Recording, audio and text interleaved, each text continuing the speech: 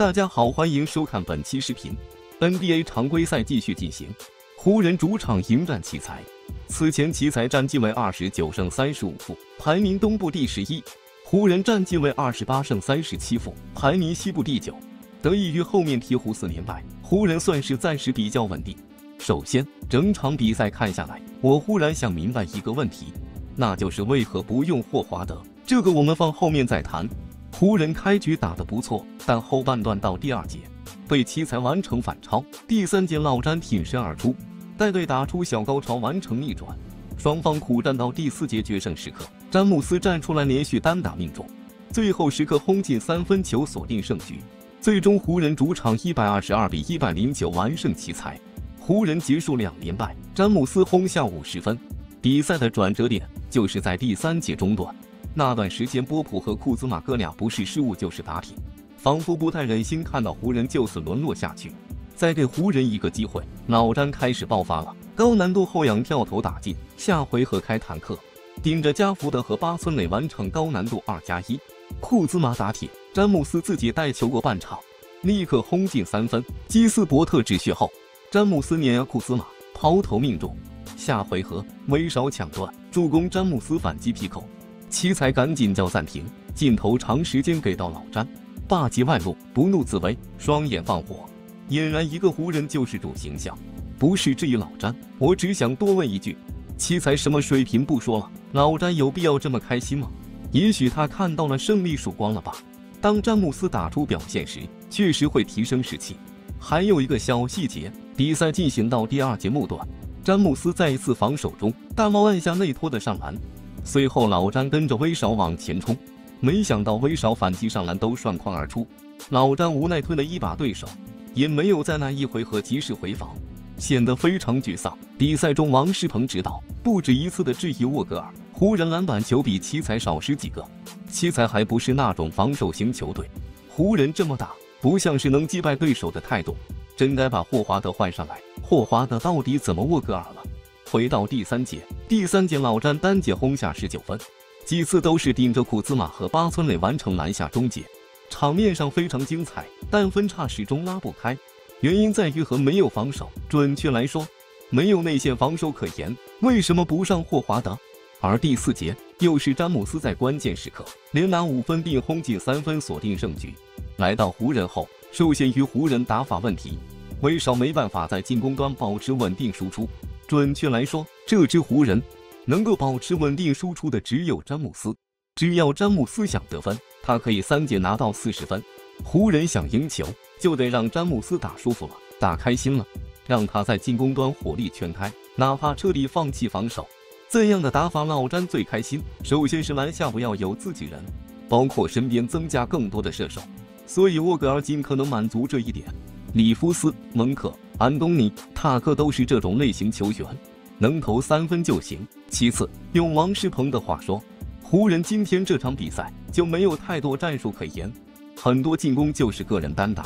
这种情况下，詹姆斯球权占比就很高了，防守端不可能再让詹姆斯有更多表现，那就搭配蓝领球员，比如斯坦利·约翰逊，甚至说加布里埃尔都能得到机会。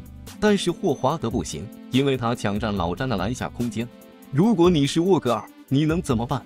是命令老詹防守，或者让霍华德首发，让詹姆斯打得不舒服，整个球队笼罩在一片压抑的氛围之中，那湖人只会输得更惨。老詹可能只拿二十分出头，去表达自己的不满。当然，沃格尔根本不敢那么做，唯一的选择就是彻底弃用霍华德，哪怕输球，只要老詹数据够好，老詹打得足够开心，就足够了。这场比赛的结果，我觉得一点都不重要。可能詹姆斯球迷会很开心，老詹又是一场完美的数据表现，而且湖人还顺利赢球了，这就是沃格尔希望得到的最好结局。他现在必须全力站在詹姆斯这一边，只要詹姆斯还能打，就给他铺平道路。四十分甚至五十分，詹姆斯是可以做到的。湖人没防守，其他点也不够稳定。如果詹姆斯还不能打出数据表现，那沃格尔的存在还有什么意义？别再指责和质疑沃格尔。有些时候，主教练并不意味着一支球队的绝对话事人。有时候他真的身不由己。目前湖人的状态和打法，老詹数据没问题，甚至有很大可能去冲击得分王头衔。但我觉得这支湖人现在这种单一的打法，在附加赛恐怕没有太多竞争力。关于湖人，球哥就说这么多了。最后，球哥带大家看看篮网的消息。篮网赢下了赛季比较关键的一场比赛，不过回过头来还要看看他们现在的处境仍然比较微妙。球队战绩刚过百分之五十，且仍然处在附加赛区域，在常规赛所剩不多的情况下，篮网想要从泥潭里面走出来，还是需要一段时间的。篮网是一支特殊的球队，也是联盟当下最为神鬼莫测的球队。那么近期和篮网相关的信息有哪些呢？今天就来看看篮网双喜临门。杜兰特历史第二，尼尔斯生涯首次。那时劝说西蒙斯，篮网第一喜。杜兰特一数据历史第二。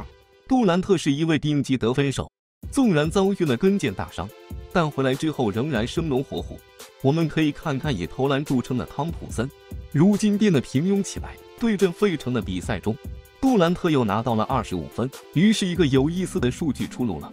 就杜兰特整个职业生涯而言，他得分二十五加的场次占比为百分之六十五，排在 NBA 历史第二位。第一位当然就是乔丹了。其实杜兰特只要他愿意，随时都可以拿得分王，这在雷霆时期已经得到了证明。不过得分王对杜兰特而言无关紧要，重要的是带领球队拿到冠军。杜兰特在篮网的任务很重，接下来就看看杜兰特如何带领球队往前冲了。篮网第二系，尼尔斯生涯首次。